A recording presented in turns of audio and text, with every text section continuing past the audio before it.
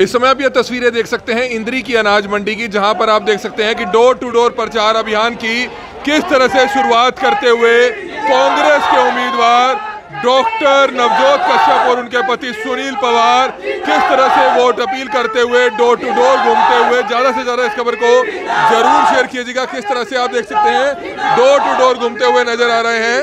Congress party.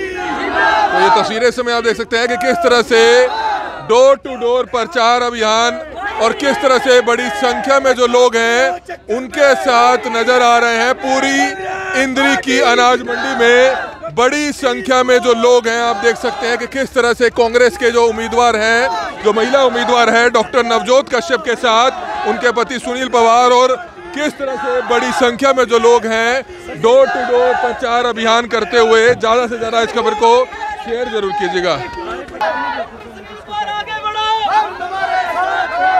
तो ये तस्वीरें समय आप देख सकते हैं कि किस तरह से इंद्री में कांग्रेस के उम्मीदवार का स्वागत होता हुआ इंद्री की अनाज मंडी में डोर टू डोर प्रचार अभियान की शुरुआत होती हुई और आप देख सकते हैं किस तरह से लड्डुओं से तोलकर महिला उम्मीदवार कांग्रेस की जो है डॉक्टर नवजोत कश्यप का स्वागत होता हुआ, जोरदार तरीके से स्वागत होता हुआ, ज़्यादा से ज़्यादा इस खबर को शेयर ज़रूर करें।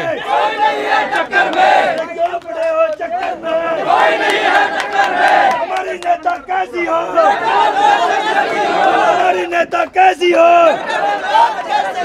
हमारी नेता कैसी हो तो ये आप देख सकते हैं कि किस तरह से फल फ्रूट जो लोगों में वितरित किए जाएँगे, फल फ्रूट से तोलते हुए नज़र आ रहे हैं महिला उम्मीदवार कांग्रेस की जो है।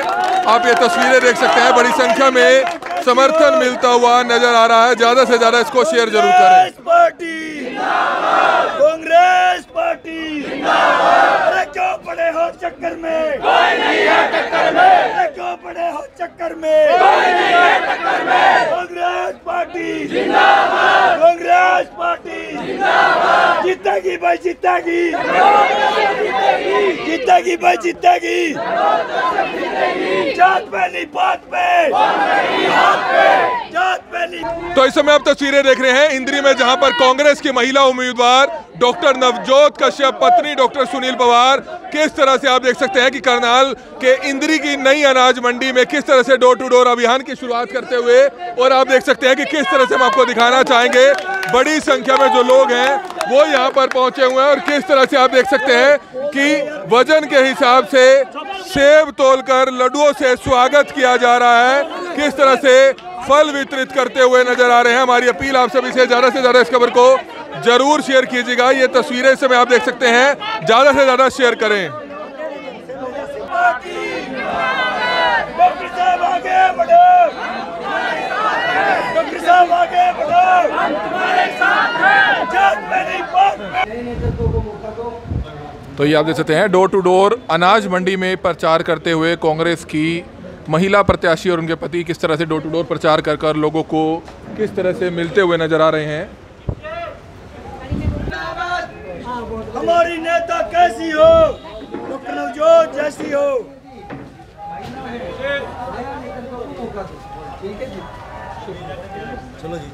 तो ये तस्वीरें इस समय आपने देखी कि किस तरह से इंद्री से महिला कांग्रेस की जो प्रत्याशी है आप देख सकते हैं जो कांग्रेस की प्रत्याशी है वो हमारे साथ मौजूद है डॉक्टर नवजोत कश्यप। किस तरह से अनाज मंडी में जो है डोर टू डोर अभियान की शुरुआत करते हुए मैम क्या कुछ कहना चाहेंगे? व्यापारियों के बीच में आड़तियों के बीच में आप पहुँच रहे हैं किस तरह का माहौल और किस तरह का रिस्पॉन्स देखने को मिल रहा है? हमें यहाँ बहुत अच्छा माहौल मिल रहा है और बहुत अच्छा रिस्पॉन्स मिल रहा है। तो लोगों से क्या अपील करेंगे? देखिए जो पिछली सरकार गई है उसमें व्यापारी वर्ग के लिए कोई इतना कार्य नहीं हुआ।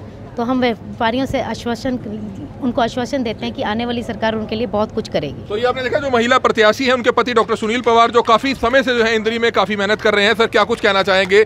डोर टू डोर अभियान की शुरुआत कर रहे हैं। किस तरह का माहौल देख रहे हैं? क्या कहना चाहेंगे? देखो डोर टू डोर का माहौल आज अनाज मंडी के अंदर सैकड़ों साथियों के साथ पहुँचे और जिस भी दुकान पर हम गए हैं तो आड़तियों ने खुले दिल से स्वागत भी किया और पूर्व की सरकार के अंदर जो उनके साथ अन्याय होता रहा, किसान के साथ अन्याय होता रहा तो उसके बारे लोग बार बार जो है हर दुकान पे बोल भी रहे हैं और खुले दिल से बोल रहे हैं कि भाई, हम कांग्रेस पार्टी के पक्ष में मतदान करेंगे भी, करवाएँगे भी और इस नकारा निकम्बी सरकार को बाहर का रास्ता दिखाएँगे। तो ये आपने देखा कि किस तरह से डोर टू डोर अभियान की शुरुआत करते हुए जो इंद्री से कांग्रेस के प्रत्याशी हैं, किस तरह से बड़ी संख्या में जो लोग हैं, उनके साथ इस प्रचार में शामिल हुए हैं, जिसकी तस्वीरें इस समय आप इंद्री की अनाज मंडी से देख सकते हैं। Kamal Midda, Karnal breaking news, Indri.